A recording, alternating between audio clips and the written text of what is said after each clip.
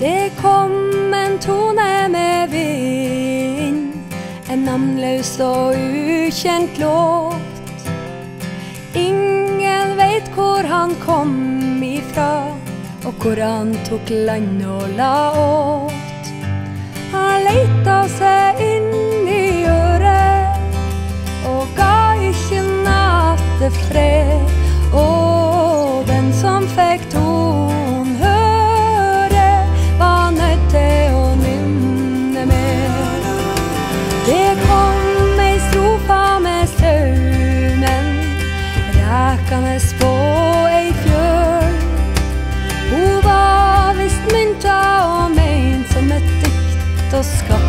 å klare seg sjøl.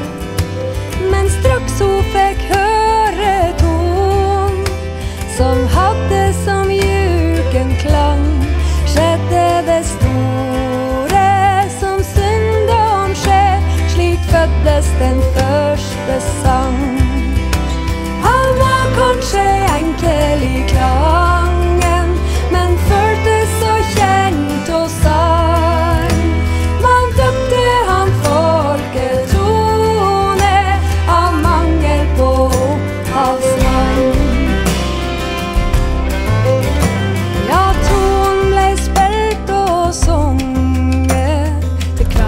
survive.